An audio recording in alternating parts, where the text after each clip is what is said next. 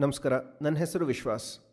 ಇವತ್ತು I O ಎಸ್ನಲ್ಲಿ, iPhone ಅಥವಾ ಐಪ್ಯಾಡ್ನಲ್ಲಿ ಹೇಗೆ ಕನ್ನಡ ಕೀಬೋರ್ಡ್ನ ಉಪಯೋಗಿಸಿ ಬರೆಯೋದು ಅಂತ ನೋಡೋಣ. ಮೊದಲನೇದಾಗಿ ಈ ಕೀಬೋರ್ಡ್ ನಿಮ್ಮ ಫೋನಲ್ಲಿ ಅಥವಾ ಐಪ್ಯಾಡಲ್ಲಿ ಇನ್ಸ್ಟಾಲ್ ಆಗಿರಬೇಕು. ಅಕಸ್ಮಾತ್ ಆಗಿಲ್ಲ ಅಂದರೆ ಆ್ಯಪ್ ಸ್ಟೋರ್ ಓಪನ್ ಮಾಡಿ. ಆ್ಯಪ್ ಸ್ಟೋರ್ ಓಪನ್ ಮಾಡಿದ ತಕ್ಷಣ ನೀವು ಅಲ್ಲಿ ಸರ್ಚ್ ಬಾರ್ ಸಿಗುತ್ತೆ. ಆ ಸರ್ಚ್ ಬಾರಲ್ಲಿ ಕನ್ನಡ ಅಂತ ಟೈಪ್ ಮಾಡಿ. ಇಂಗ್ಲೀಷಲ್ಲೇ ಟೈಪ್ ಮಾಡಿ, ತೊಂದರೆ ಇಲ್ಲ. ಸೊ, ಟೈಪ್ ಮಾಡಿದ ಕೂಡಲೇ ನಿಮಗೆ ಒಂದಿಷ್ಟು ಆಪ್ಷನ್ಸ್ ಬರುತ್ತೆ.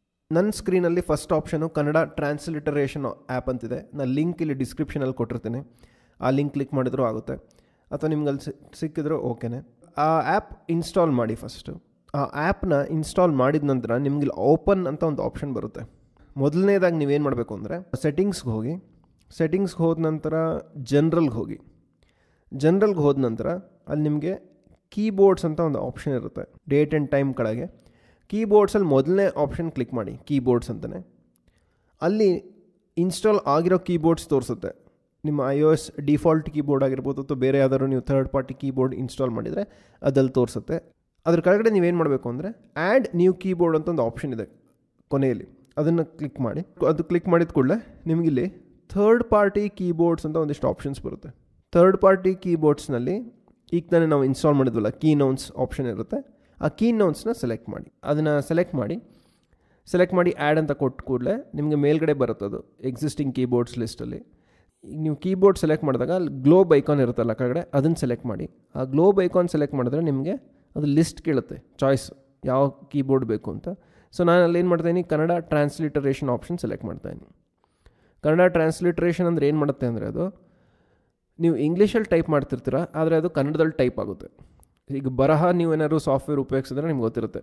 ಸೊ ಈಗ ಕನ್ನಡ ಅಂತ ನಾನು ಟೈಪ್ ಮಾಡಬೇಕು ಅಂದರೆ K A N N A D A ಅಷ್ಟೇ ಸೊ ನಿಮ್ಗೆ ಆಪ್ಷನ್ ಬರುತ್ತೆ ಅದು ಕನ್ನಡದಲ್ಲೇ. ಸೊ ಈಗ ನೋಡೋಣ ಅದು ಹೇಗೆ ಟೈಪ್ ಮಾಡೋದು ಅಂತ. ಸೊ ಇಲ್ಲಿ ನಾವು ನೋಡ್ಬೋದು ಕರ್ನಾಟಕ ಅಂತ ಟೈಪ್ ಮಾಡಬೇಕಂದ್ರೆ ನಾನು ರೆಗ್ಯುಲರ್ ಇಂಗ್ಲೀಷ್ ಸ್ಪೆಲ್ಲಿಂಗೇ ಟೈಪ್ ಮಾಡ್ತೀನಿ ಕರ್ನಾಟಕ ಅಂತ. ಸೊ ಅವಾಗ ಅದು ಕನ್ನಡದಲ್ಲಿ ಅಲ್ಲಿ ಬಂದಿರುತ್ತೆ. ಆಟೋಮೆಟಿಕ್ಕಾಗಿ ಬರುತ್ತೆ ನಾನು ಏನೂ ಮಾಡಬೇಕಾಗಿಲ್ಲ. ಸ್ಪೇಸ್ ಬಾರ್ ಒತ್ತಿದ್ರೆ ಆಯ್ತು ಅಷ್ಟೇ ಸೊ ನೀವು ನೋಡ್ತಾ ಇದ್ದೀರಾ, ಮೈಸೂರು ಅಂತ ಟೈಪ್ ಮಾಡಿದ ಕೂಡಲೇ ಅದು ಮೈಸೂರು ಅಂತಲ್ಲಿ ಬಂತು. ಸೊ ಕನ್ನಡದಲ್ಲಿ ಟೈಪ್ ಮಾಡೋದು ನಾಡುವುದು ಆಗೋಯ್ತು. ಮಾಡುವುದು ಮಾಡೋಣ ಮಾಡುವುದು ಬಹಳ ಸುಲಭ. ನಿಜವಾಗ್ಲೂ ಬಹಳ ಸುಲಭದ ಕೆಲಸನೇ. ಅಥವಾ ನಿಮ್ಗೆ ಇದು ಬೇಡ ಅಂತೇನಾರು ಅಂದರೆ ಕೀ ನೋನ್ಸ್ ಬೇಡ ಅಂದರೆ ಇನ್ನೊಂದು ಆ್ಯಪ್ ಇದೆ.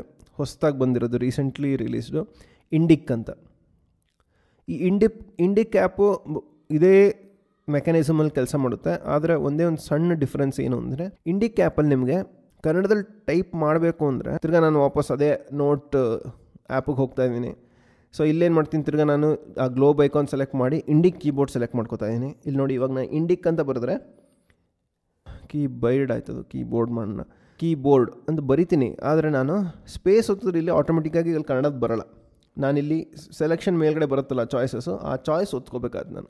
ಸೊ ಅದರ್ವೈಸ್ ಅದು ಕನ್ನಡದಲ್ಲಿ ಬರೆದ್ರೆ ಅದು ಕನ್ನಡದಲ್ಲೇ ಅಂತಲೇ ಇಂಗ್ಲೀಷಲ್ಲಿ ಬಂದ್ಬಿಡುತ್ತೆ ಅಷ್ಟೇ ಸೊ ಇದೊಂದೇ ವ್ಯತ್ಯಾಸ ಟ್ರ ಕೀ ನೌನ್ಸ್ಗೂ ಮತ್ತು ಇಂಡಿಕ್ಗೂ ಸೊ ಹಾಗಾಗಿ ನಾನು ಇಂಡಿಕ್ ಕೀಬೋರ್ಡ್ನೇ ಪ್ರಿಫರ್ ಮಾಡ್ತೀನಿ. ಸುಲಭ ಟೈಪ್ ಮಾಡೋದು ಅಂತ ಅಷ್ಟೇ, ಇನ್ನೇನು ಅಲ್ಲ. ಇದೆರಡೂ ಬೇಡ, ಇದೆರಡು ಇಂಗ್ಲೀಷಲ್ಲಿ ಟೈಪ್ ಮಾಡ್ಬೇಕು, ನಮಗೆ ಇಂಗ್ಲೀಷ್ ಬೇಡ, ಕನ್ನಡದಲ್ಲೇ ಟೈಪ್ ಮಾಡ್ತೀವಿ ಅಂತ ಹೇಳೋದಾದರೆ, ಯಾವುದನ್ನು ಇನ್ಸ್ಟಾಲ್ ಮಾಡೋ ಅಗತ್ಯ ಇಲ್ಲ.